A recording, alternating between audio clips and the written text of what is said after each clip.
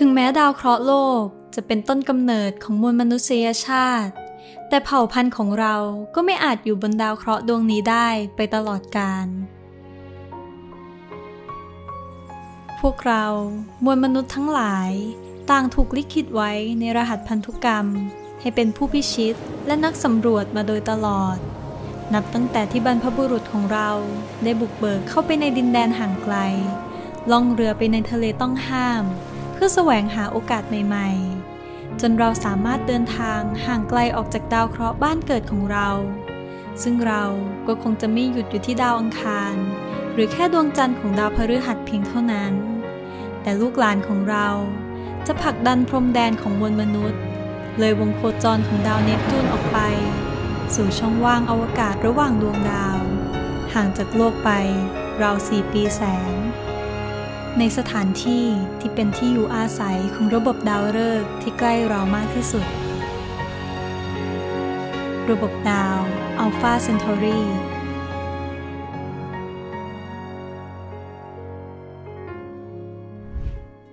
ลองจินตนาการถึงดาวฤกษ์สีเหลืองขนาดใหญ่ดวงหนึ่ง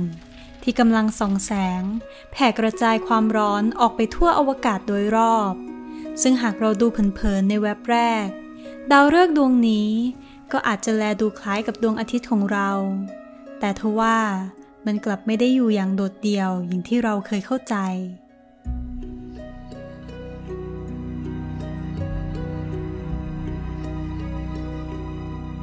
ดวงดาวสองสหายนี้มีชื่อว่า Alpha Centauri A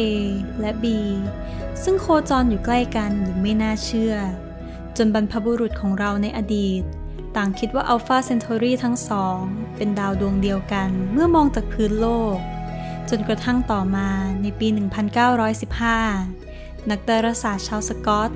ก็ได้ค้นพบดาวฤกษ์สีแดงสลัวขนาดเล็ก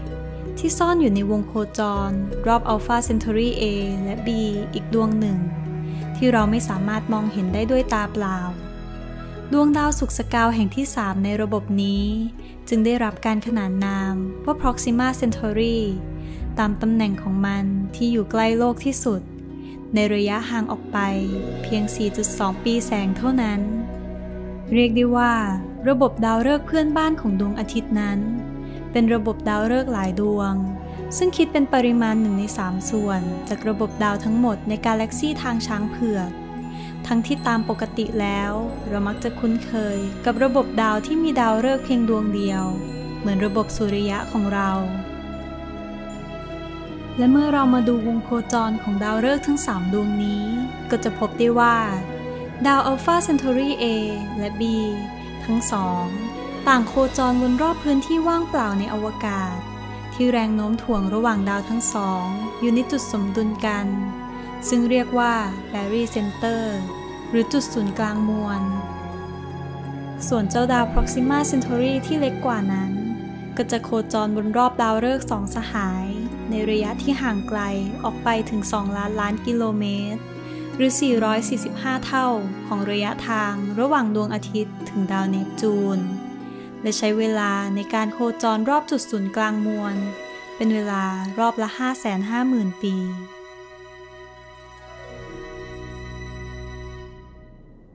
ซึ่งการที่ระบบดาวอัลฟาเซนทอรีอยู่ใกล้กับโลกของเรามากที่สุด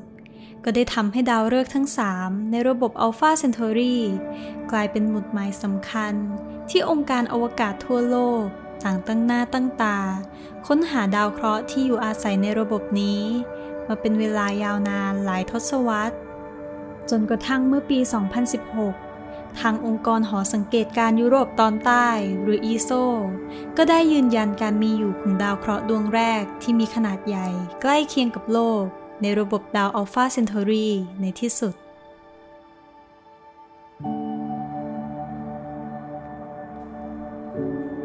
ยินดีต้อนรับสู่ Proxima Centauri b ดาวเคราะห์ที่ซ่อนอยู่ภายใต้แสงอาทิตย์สีแดงสลัว ห่างจาก Proxima Centauri ที่เป็นดาวแม่ของมัน เพียง 7 ล้านกิโลเมตร เทียบกับตำแหน่งของดาวพุธของเราที่ 67 ล้านกิโลเมตร แต่ทว่า พื้นผิวของดาว Proxima Centauri b อาจมีอุณหภูมิเฉลี่ยที่เหมาะสมที่น้ำจะคงสภาพเป็นของเหลวได้ ไม่เหมือนกับดาวพุธของเรา เนื่องจากดาว Proxima Centauri นั้น ปลดปล่อยพลังงานความร้อนและความสว่างออกมา น้อยกว่าดวงอาทิตย์ของเราถึง 550 เท่า โดยมีสาเหตุมาจากขนาดที่เล็กจิ๋วของมัน ที่ไม่ต่างจากดาวพฤหัสของเรามากนักทำให้มีความเป็นไปได้มหาศาล ที่ Proxima Centauri b ดาวเคราะห์นอกระบบที่ใกล้โลกของเรามากที่สุด อาจจะมีสิ่งมีชีวิต วิวัฒนาการถือกำเนิดขึ้นมาได้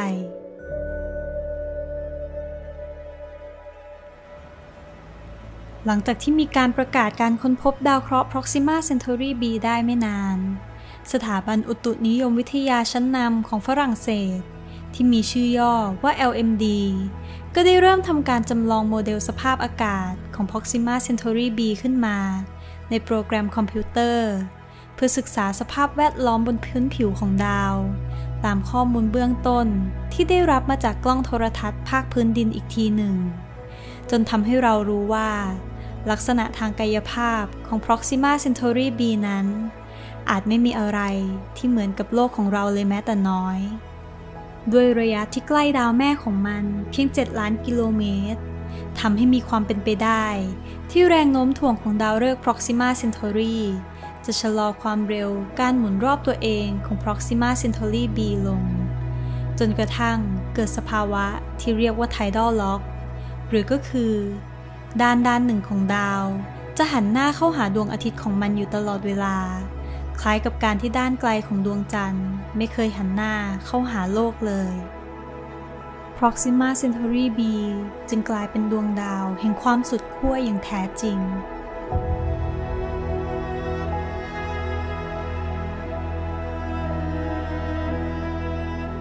พลังงานพื้นผิวที่ Proxima Centauri b ได้รับในฟากกลางวันติดต่อกันเป็นเวลายาวนาน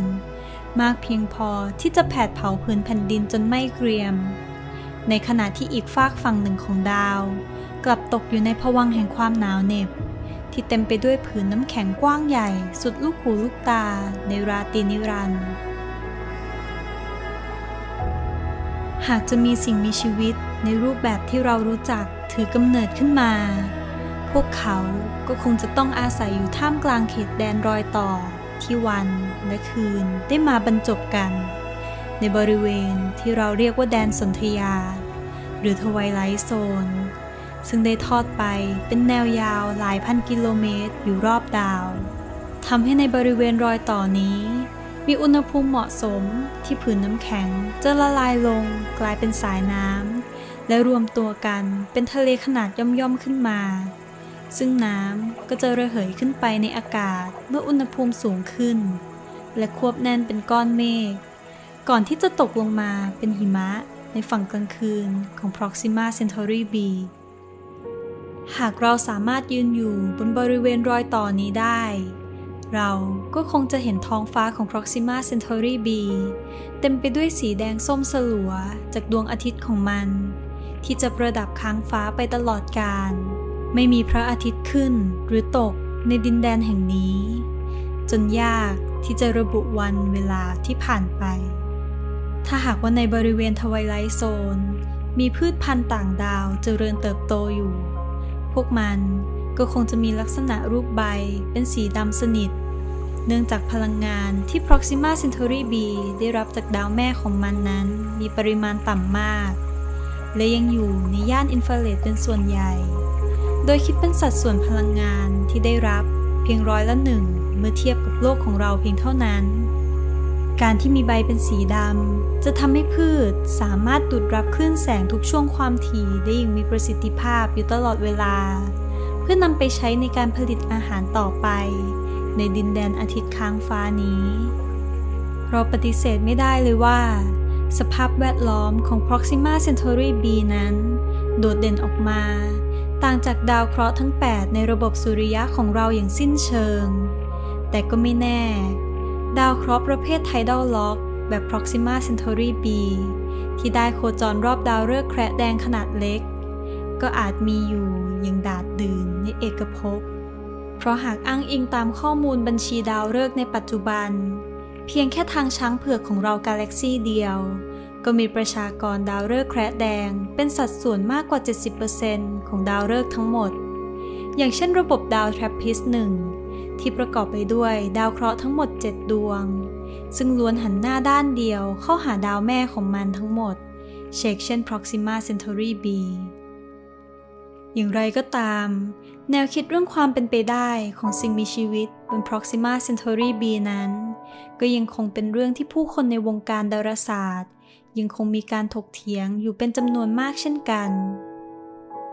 โดยเริ่มจากระยะที่ใกล้ดาวแม่ของ Proxima Centauri b ก็อาจทำให้ตัวดาวได้รับปริมาณรังสี UV ที่รุนแรงกว่าที่โลกได้รับถึงหลายร้อยเท่า ซึ่งเพียงพอที่จะพัดพาโมเลกุลของแก๊สในชั้นบรรยากาศออกไป ถ้าหากว่าดาวเคราะห์ดวงนี้มีสนามแม่เหล็กที่ไม่แข็งแกร่งเพียงพอ ชั้นบรรยากาศของ Proxima Centauri b ก็จะค่อยๆ สูญสลายไป เหมือนกับกรณีของดาวอังคาร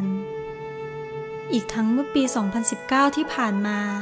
กล้องโทรทัศน์ทุกตัวที่เรามีทั้งบนโลกและนอกโลก ต่างตรวจจับได้ถึงการประทุของเปลวสุริยะ ที่รุนแรงที่สุดในกาแล็กซีทางช้างเผือกเท่าที่เคยได้มีการบันทึกไว้ พุ่งตรงออกมา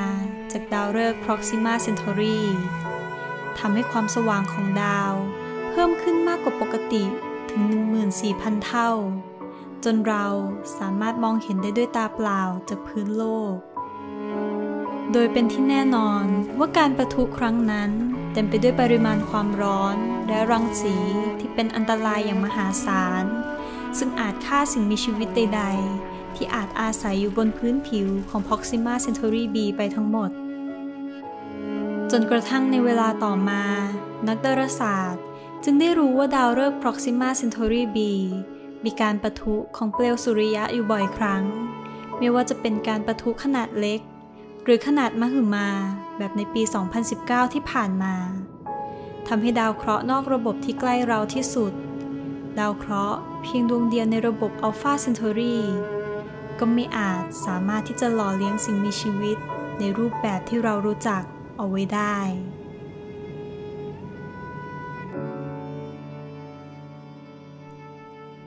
แต่ถึงกระนั้น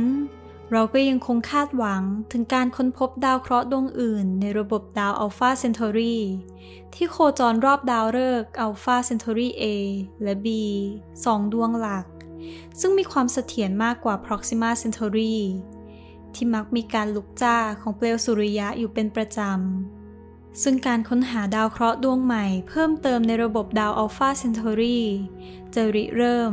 ด้วยกล้องโทรทรรศน์อวกาศรุ่นใหม่อย่าง James Webb ที่จะหันหน้าไปทางอัลฟาเซนทอรีทันทีหลังจากที่ได้ไปประจำการอยู่บนวงโคจรได้สำเร็จ ในช่วงต้นปี 2022 นี้ และถ้าหากสิ่งมีชีวิตบน Proxima Centauri b สามารถรอดพ้นจากการประทุของเปลวสุริยะที่รุนแรงได้ กล้องเจมส์เว็บก็จะสามารถตรวจสอบร่องรอยของสิ่งมีชีวิตที่อาศัยอยู่ได้ ผ่านการศึกษาองค์ประกอบของแก๊สในชั้นบรรยากาศ หรือแม้แต่การตรวจจับแสงสว่างจากมหานครของอารยธรรมต่างดาว นอกจากนี้ เทคโนโลยีในปัจจุบันของมนุษย์ ก็ได้พัฒนาจนมีศักยภาพเพียงพอ ที่จะออกแบบยานอวกาศที่สามารถเดินทางไปยังระบบดาวอัลฟาเซนทอรีได้ในช่วงชีวิตของเรา เพื่อที่จะศึกษาดาวเคราะห์ต่างๆ ที่กำลังโคจรล้อมรอบดาวฤกษ์ทั้ง 3 ดวงนี้ได้ในระยะใกล้ ผ่านโครงการที่มีชื่อว่า Breakthrough Starshot ซึ่งร่วมก่อตั้งโดยนักดาราศาสตร์ชื่อก้องโลก อย่างสตีเฟนฮอว์กิง โดยทางโครงการมีแผนที่จะส่งยานอวกาศขนาดเล็ก คล้ายกับชิปคอมพิวเตอร์ที่มีผืนเรือใบขนาดใหญ่ กว้างกว่า 10 เมตร อยู่ล้อมรอบ ซึ่งยานอวกาศรุ่นใหม่นี้ จะมีน้ำหนักรวมไม่ถึง 1 กรัม และจะใช้ลำแสงเลเซอร์พลังงานสูง ยิงไปยังเรือใบของยานอวกาศ แทนที่จะใช้ลมเหมือนเรือใบบนโลก เพื่อเป็นพลังงานหลัก ในการเดินทางไปยังระบบดาวอัลฟาเซนทอรีหากว่ากันตามทฤษฎีแล้ว ด้วยตัวยานอวกาศขนาดเล็กนี้ จะสามารถเดินทางได้เร็วถึง 20%ของความเร็วแสง หรือราว 60,000 กิโลเมตรต่อวินาทีททำให้ตัวยานจะใช้เวลาเพียงไม่กี่วันเท่านั้น ที่จะเดินทางแซงยานอวกาศ Voyager 1 ออกไป ซึ่งเป็นยานอวกาศลำแรกของมนุษยชาติ ที่ได้เดินทางออกไปนอกระบบสุริยะเมื่อปี 2012 ที่ผ่านมา ดังนั้นการเดินทางของยานอวกาศในโครงการ Breakthrough Starshot จะใช้เวลาประมาณ 20 ปี ทะยานไปยังระบบดาวอัลฟาเซนทอรีซึ่งคาดว่า